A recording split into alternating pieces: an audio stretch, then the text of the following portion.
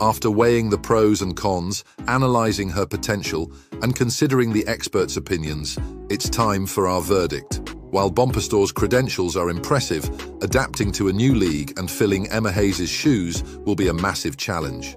Her tactical philosophy raises questions about compatibility with Chelsea's current style.